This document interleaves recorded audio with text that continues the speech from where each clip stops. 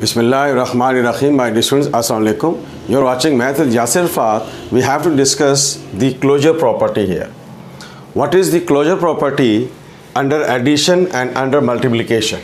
For all values of a and b belongs to the set of real number. a and b, they belongs to the set of real number. And if we are going to discuss the addition of the closure property under the addition, then a plus b should belongs to the set of real number. For example here, for example under addition we are talking about we have to consider set A that is 1, 2, 3 and so on. 1, 2, 3 and so on. If we have to add 1 plus 2 it is equals to 3 belongs to A.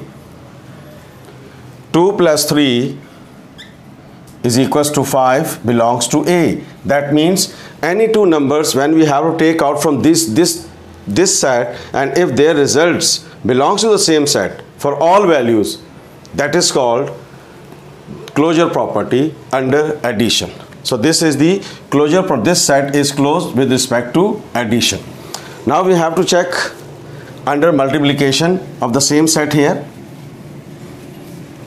If the same set here so this is under multiplication.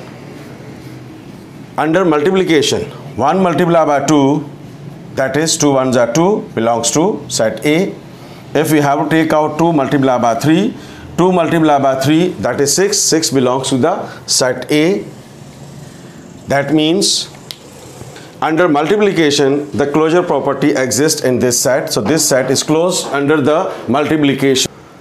So that means the closure property, if you have to explain in one line, under the given operation resultant belongs to the same set, that property is called closure property. Thank you so much. If you like this video, please share it and subscribe my channel, Math with Yasir Arafat. Thank you so much. Allah Hafiz.